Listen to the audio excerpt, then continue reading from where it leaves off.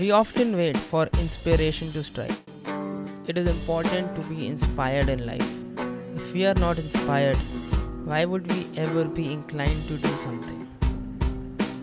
I feel like getting up and making something, but when I get to do it, I often feel directionless.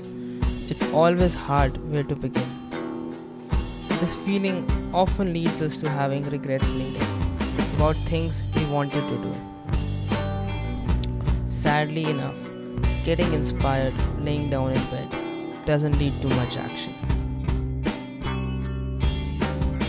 People in their 20s often talk about figuring shit out, figuring out life. It all sounds super cliche and lame, but it is very real. You can spend life thinking about things you couldn't achieve, but what good has that ever gotten anyone? This entire ordeal reminds me one of my favorite quotes from the movie Today's Special.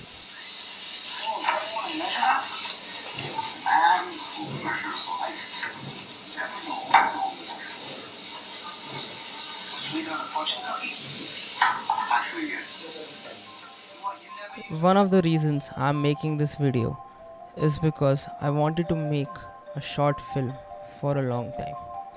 But I have always held back. Different excuse every single time. I know while I'm making this, while I'm recording this, this isn't a perfect script. But it can't be because perfection doesn't exist. It is only perceived and obsessing over perfection stops us from achieving what we want. Some wise man once said, Perfection is the enemy of progress. And that is what I'm doing here progress.